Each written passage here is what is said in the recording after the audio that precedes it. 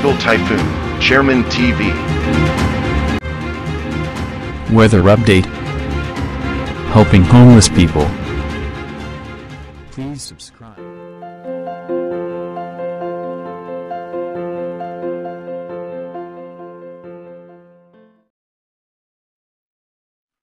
Magandang umaga po. Ito po ang ating weather update ngayong araw, February 5, 2022. Kung mapapansin nga natin, no, yung northeast monsoon ay uh, nakaka-apekto pa nga rin ano, dito po sa northern Luzon at sa extreme northern Luzon. Asahan pa rin ng uh, mga nabanggit na uh, lugar na yan ay uh, makakaranas pa rin ng uh, malamig na panahon. At uh, mapapansin naman natin ano, na yung uh, ibang uh, makakapal na kaulapan ay nakakapekto sa may Bicol Region, Visayas at ilang bahagi ng Mindanao. Sa may Palawan naman kung saan nga po no, na ayon sa ating bagong pag-asa DUST na merong isang uh, low pressure area at ito naman ay hindi inaasahan na magiging ganap na bagyo. At uh, patuloy pa nga rin po natin minomonitor ang ating advanced weather forecast sa mga posibilidad na sama ng panahon na posibleng pumasok sa ating bansa. Check naman natin yung ating uh, satellite image. Kung mapapansin nga po natin ano dito sa ating uh, satellite image na uh, posibleng makaranas ng uh, pagulan sa may uh, Bicol region, sa may Visayas area at maging dito po sa may Mindoro. Asahan nga po natin yung may hina at katamtamang pagulan at uh, malamig na panahon naman ang mararanasan dito sa may Northern Luzon.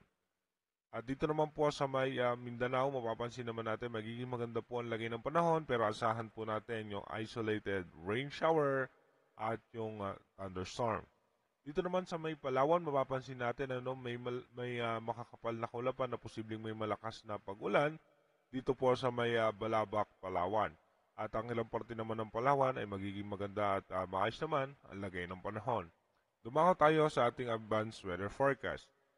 Dito nga po sa ating advanced weather forecast, mapapansin nga natin by February 6, ano, na yung uh, low pressure area ay uh, lalayo na po yan dito sa ating bansa. At uh, makakaranas pa rin po ang uh, parte ng uh, Visayas, uh, Visayas area ng uh, mga posibilidad na pag-ulan. At pagdating naman po no, dito ng uh, February uh, 7, uh, kita nga po natin ano, kung mapapansin natin itong uh, uh, kulay violet, ito na po yung mainit na hangin. At uh, pagsabit, pagsapit naman po ng uh, February 8, mapapansin na nga po natin, magiging magandang lagay ng panahon at magkakaroon po ng uh, pressure o low pressure area dito sa may parte ng uh, Taiwan, papunta po yan ng Japan. At pagdating naman po ng uh, February 9, kung makikita po natin ano, na tuloy-tuloy po na magiging maayos ang lagay ng panahon at asahan pa rin po natin ano, yung mga posibilidad ng mga low pressure area pero mababa po ang tsansa ng mga uh, potential na mag silang uh, ganap na bagyo.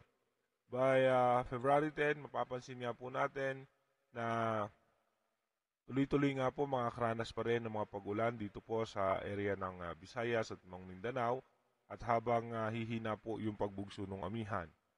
At pagdating naman po ng February 11, makikita po natin ano na tuloy-tuloy nga po na makakaranas ng uh, malamig na panahon dito sa extreme northern Luzon.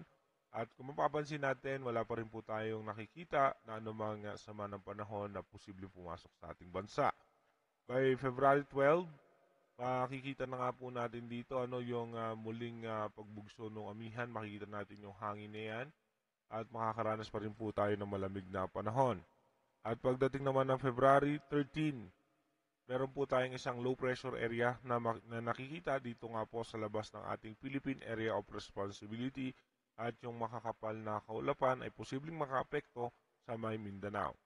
By February 14, ito po yung ating uh, possible scenario. No? Kung makikita nyo po, uh, muli na nga pong uh, bubugso naman itong ating uh, easterlies o yung mainit na hangin ng gagaling sa dagat Pasipiko at makakaranas na po ng malinsangang panahon dito nga po sa may parte ng Visayas, dito po sa may Mindanao at maging sa Palawan.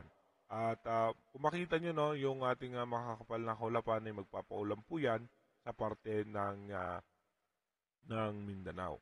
Sa ngayon nga po, ito pa lang yung ating available data para po sa ating uh, minomonitor dito sa ating advanced weather forecast. Again, inulit po natin, ito po ay possible scenario pa lamang since malayo pa yung ating minomonitor, mahaba ang range ng ating advanced weather forecast, marami pa pong posibilidad na pagbabago na makikita natin sa ating mga weather system. Kaya manatili tayo nakatutok sa ating ah, advanced weather forecast para sa mga pagbabago na nakikita natin sa ating advanced weather forecast. Maraming salamat po. Mag-iingat tayo palagi.